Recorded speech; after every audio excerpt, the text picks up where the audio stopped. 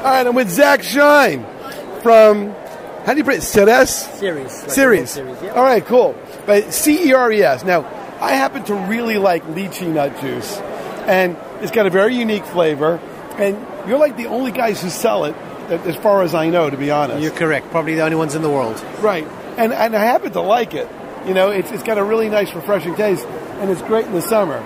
So tell me about your product line. What do you have? I I, I don't think I've ever seen the Youngberry in So- stores. So Ceres is 100% natural fruit juice from South Africa.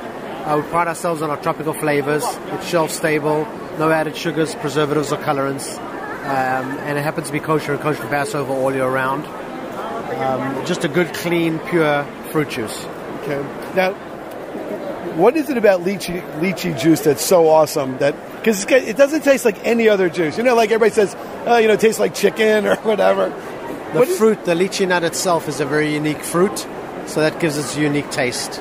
Okay. A very nice, light, refreshing product, especially mixed with uh, as a mixer, as a blend with alcohol, with vodka. It's delicious. Now, what do you what do you like to drink, and how do you like to drink it? Like, do you drink certain things just on ice? Do you put things in like uh, uh, Just- smoothies? Just on ice or with a smoothie. It's a good blend. All right. I have little children. What would you recommend? They are very picky. What would you like for them? They could sneak something in to a smoothie, like maybe a little banana or something like that. What do you like? Uh, the Secrets of the Valley, apple, berry, cherry. All the kids like that. Okay.